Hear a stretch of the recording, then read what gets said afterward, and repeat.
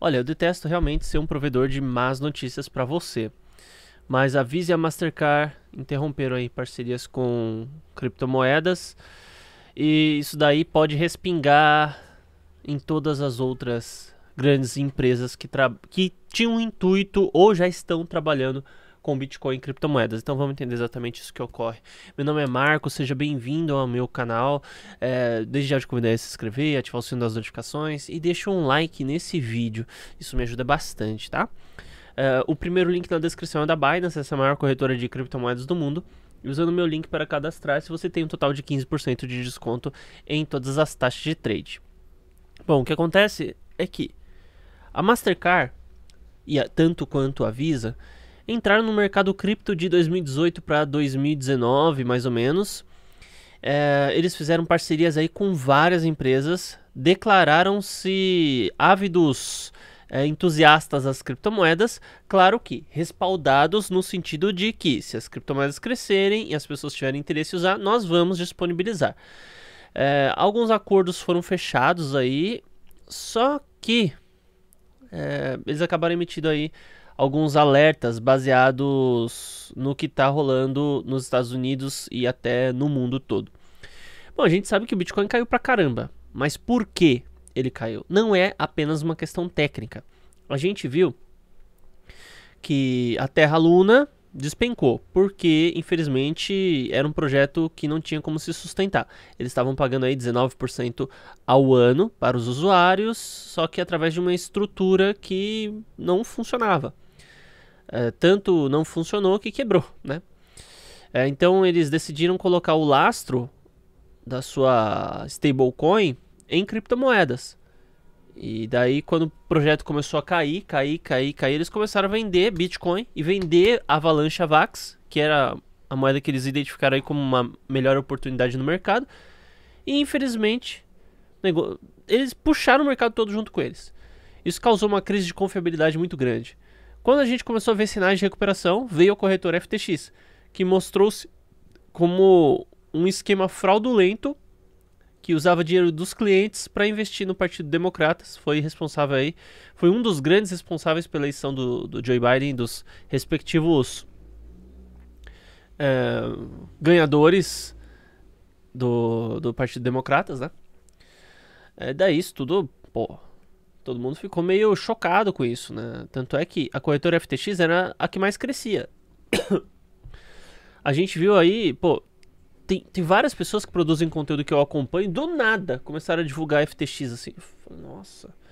Eu aprendi a fazer trade com o Rodrigo Miranda. E o Rodrigo Miranda também é, tinha. Eu não sei se ele chegou a ter o patrocínio direto, mas no mínimo ele divulgava o link de, de afiliado da, da FTX.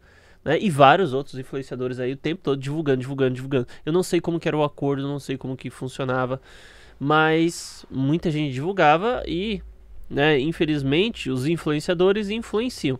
Né? Não que você que está assistindo esse vídeo significa que cada palavra que eu vou dizer para você é você vai sair na rua cumprindo o que, eu tô falando. Obviamente que não é isso, né? Eu não sou idiota a ponto de achar um negócio desse. Mas, diga-se de passagem, no geral, existe sim uma certa influência na questão de sentimento do mercado, percepção de alguns aspectos do mercado cripto, e sim, né? Uh, quem produz conteúdo para a internet, seja do mais desconhecido ao mais conhecido, tem aí a sua parcela de, de responsabilidade em torno disso. Pois bem, daí a FTX também só para você ter uma ideia, era corretora do politicamente correto e extremamente alinhado com a mídia, com, a, com as agendas, com as questões políticas e tudo mais. Né? É, era o pessoal da lacração, né? Pô, tudo que há de bom de se falar na mídia se falava em relação ao FTX. E daí do nada quebrou. Né? Então foi uma surpresa muito grande. É, então, isso deu um indício muito forte de que a queda do mercado provavelmente seria prolongada.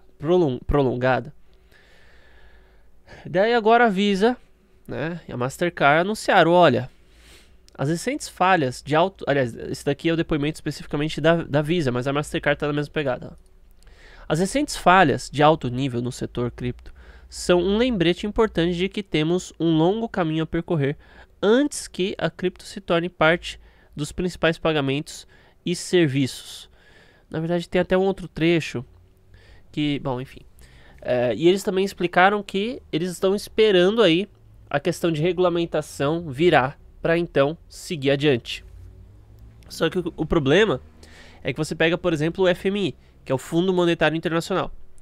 Eles já falaram que uh, se algum país tiver a mínima dificuldade em relação a regulamentar o Bitcoin, vai lá e proíbe.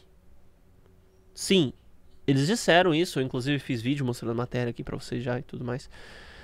Mas eles disseram isso. O, o, o G20, por exemplo, é composto de países que seguem aí avidamente as recomendações do, do FMI, por exemplo, Fundo Monetário Internacional. Você não seguir uma recomendação do, F, do FMI não te causa uma multa diretamente, mas pode causar, pode causar para a nação uma perda de dinheiro. Né? Então, é, um país A tem preferência em negociar com o país que tem, o país B, que segue as recomendações do FMI. A partir do momento que tem um país na jogada que não segue, né? Então, os acordos talvez ou não sejam realizados ou não sejam tão abertos assim para aqueles que não seguirem as recomendações do FMI. Então, meio que você quebrou né, a leizinha do FMI, entre aspas.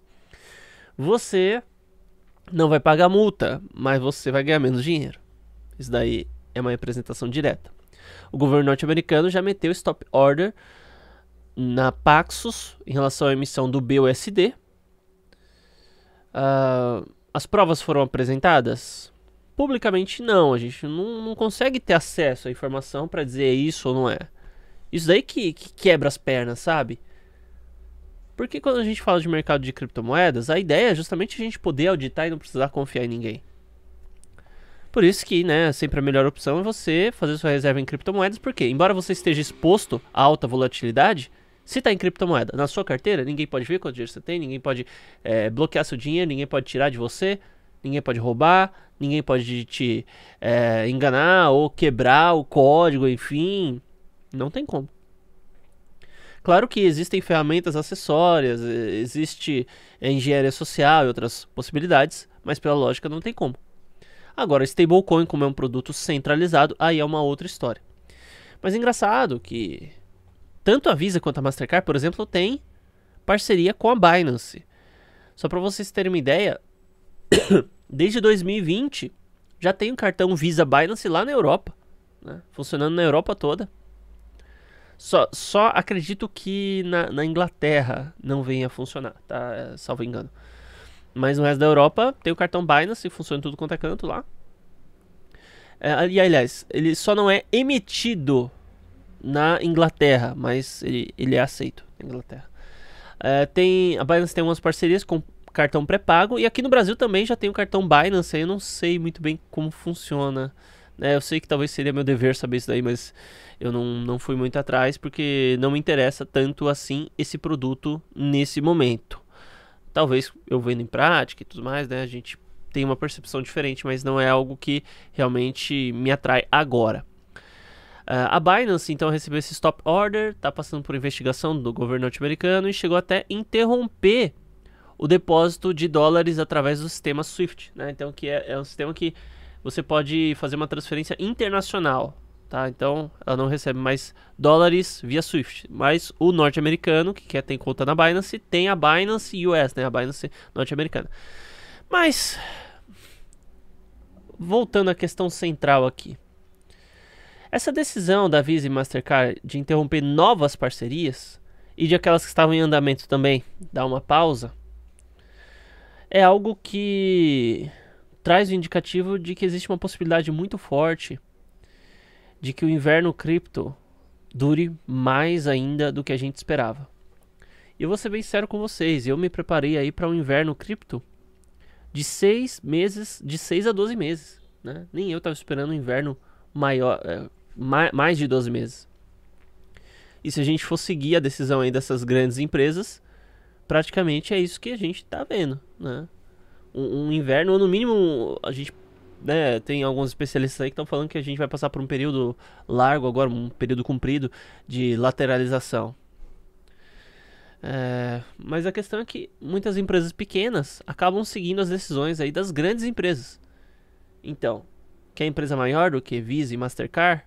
Né? E melhor ainda, ou pior ainda, empresas que justamente são do nicho de é, finanças, empresas são do nicho de pagamento, utilidade financeira. Realmente a situação ficou um pouco complicada agora, pessoal. É, eu penso que a longo prazo a gente vai sim ter uma projeção boa em relação ao mercado das criptomoedas, mas para agora a situação deu uma complicadinha, tá bom? Então é isso, muito obrigado e até mais.